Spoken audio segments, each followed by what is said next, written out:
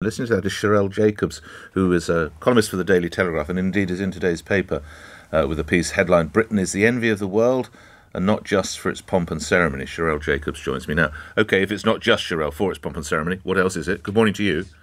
Morning. It's that rare ability to combine modernity and tradition. That is what is the envy of the world right now. You, from superpowers and rising superpowers of China, America, which are very future oriented societies, you know, chasing after the American dream, the Chinese dream, you had this sort of realization in the last few years that maybe there are side effects to this relentless modernity. And we have three things in our monarchy which are extremely special a sense of national pride, a sense of living in history. And that's one thing that the Americans have been very fascinated with, watching us and the eagerness of people to queue to be part of history. And the third thing is a sense of continuity. Um, and I think in the modern world, where there's a sense of rootlessness, of uncertainty, of almost vertigo, lurching from crisis to crisis, it's actually very uh, psychologically important to have a sense of you know a rock in a stormy sea and that's what the monarchy is for us and i think people were looking to us thinking oh they've got something there i wish we had um, and I, I, slightly disagree with Pravina um, in the sense that I think that actually one of the symptoms of a nation in decline is being inward looking and saying, well, what matters is the perception here and not the perception elsewhere. But that I strongly disagree with that. I think that the way others see us is important, and we should be conscious of how we are perceived in the outside world, um, both good and bad. Um, but it helps us to appreciate what we've got. Let me ask you this: We look forward to, let's say it's June, the coronation. Should we go for broke or go as if the nation is broke?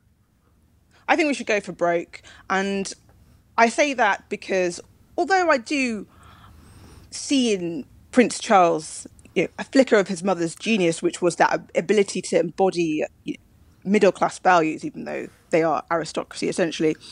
What What are the those middle class values uh, the king one has? Of them, one, of the, one of them being frugality. Ah, right. Frugality. Okay. Um, the famously the, king, the, breakfast out of a Tupperware box, that sort of yeah, thing. Yes, yes. Yeah. Um, but uh, the king shouldn't be too eager to sell the monarchy cheap. Um, they make hundreds of millions of pounds every year they draw in for us through tourism. And I think even if we managed to attract even half the amount of people that, that came to London for the de- uh, the, the funeral, funeral yeah. Queen, um, we would still make the money back from the coronation within six months. There's um, a there's a very interesting piece, lastly, Sherelle, in your article today. I commend everyone to the Daily Telegraph, in which you look at how the French have viewed proceedings. Just expand on that, if you would, a little bit of what you've written.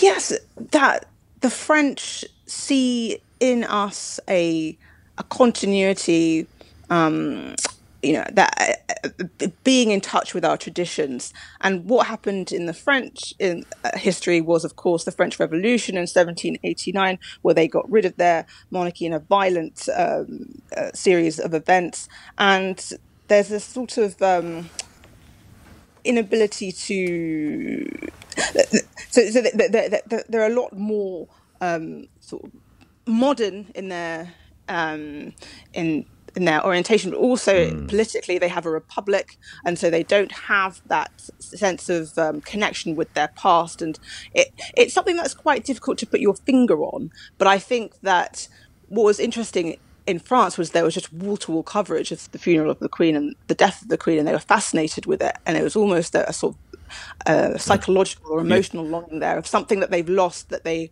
they don't quite. Um, they can't quite articulate.